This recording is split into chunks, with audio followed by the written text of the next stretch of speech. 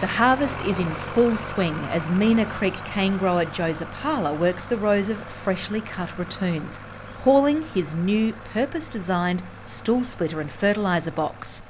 It might be midwinter in the red soil country of Innisfail's hinterland, but the rain clouds still never quite disappear completely in one of Queensland's wettest growing districts. Farming sugarcane in the lush catchment of the Johnstone River system is not without its challenges.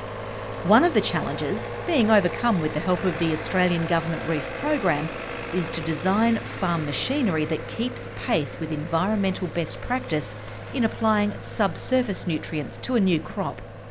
We used to drop our fertiliser on the top. With the Reef Rescue money we were able to update our machines to put our fertiliser underground. What we've also done by doing, putting it underground, I've gone from two row application to three row application. And also with this box, I was able to have one where I could vary the row spacing from, from five foot out to five foot 10. And I could put it either beside the stool or split the stool. Now to split the stool, I use to, I do that now because I have to apply Confidor for cane grub control. The modified fertiliser box and stool splitter are examples of how the Australian Government Reef Program, originally known as Reef Rescue, is working with cane farmers in Queensland's wet tropics to limit runoff of nutrient into the Great Barrier Reef Lagoon. Joe worked closely with an agricultural equipment manufacturer to get the design of the coulters and tines on the stool splitter just right for his red soil country. And by using the stool splitter, fertiliser is applied underground, ensuring nutrients get to the root system of the plant and none is wasted. As you can see, this is red soil.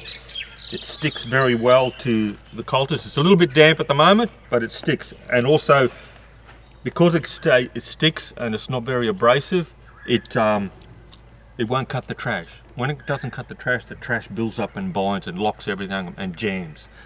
But with the modification in the stool, uh, with the with the tine and with the bigger coulters, we were able to apply it underground in the, through the trash blanket.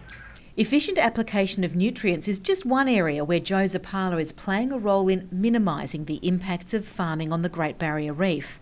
He's taking that same progressive approach to herbicide management too, applying successfully to Reef Rescue to co fund a variable rate spray controller to cut down on herbicide usage. The system has been installed on a high rise sprayer that does much of the work on farm, and the direct result is improved accuracy in spray rates and efficiency in application. It's a win both for the environment and productivity, and that also helps him on his hillier country. This is an older machine that we converted into a high rise oh, eight years ago, and we had just standard controllers that were not very accurate. They did the job, but they weren't very accurate. So what we did, we applied for more funding and we got a, a, variable rate controller. And what it does is we mounted a wheel sensor on the back of the wheel here, so we get accuracy at your ground speed. So once you've got accuracy with your ground speed, you start getting accuracy with your application rates. The accuracy in application is what I was really looking for. And what happens is, is when you go down a hill, the machine tends to accelerate a bit. So you, it would uh, increase your application rate so you would get an even application of herbicides. And when you start to climb a hill, if you've got full tanks and it's a bit of a steep hill, it might slow down. The tractor is hard to pull up the hill. So what we would do then, it would do then, as the tractor slows down, it would slow the application rate down. What we have here is um, an old Hardi spray tank. It's about 25 years old. Um, what we did was use part of that controllers from that tractor for when I'm not using it in the slack in the cane season. I'm able to retrofit it to an existing spray tank, use the same controllers, and able to use it on multiple tractors. I can use a cab tractor or an open tractor, and we're able to fit it to this old tank just to get accuracy again in knockdowns, because that's my mainly use hot knockdowns in in our um, ratoons. So yeah, it was it was easy to do just a bit of nutting out, but yeah, got there. I was able to update our tank. The flow control system and tank are coupled with an Irvin Farm spray rig that has been engineered specifically to meet the highest environmental standards. The Ratoon tracking head travels at ground level and the spray bar is constructed with multiple low drift nozzles to ensure the herbicide only goes where it's needed. What we have here is what Irvin calls the octopus legs. Uh, we have six nozzles on each spray bar. I use ADI Albuz low drift nozzles. Um, with the variable rate controller, it gives me good rate of application, accuracy, and run lower pressures, so I get uh, less drift. Also with the Irvin legs, this is their new style leg. Um, tracks a lot better than what the previous legs do, don't bounce around as much, so I get less drift and less burn.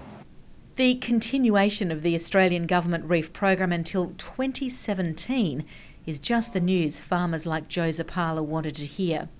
He already has another project in the planning stage, a dual herbicide sprayer aimed at meeting the core objectives of the program to limit runoff of nutrients, sediment and herbicides into the Great Barrier Reef Lagoon. What we're funding next round is a dual herbicide sprayer.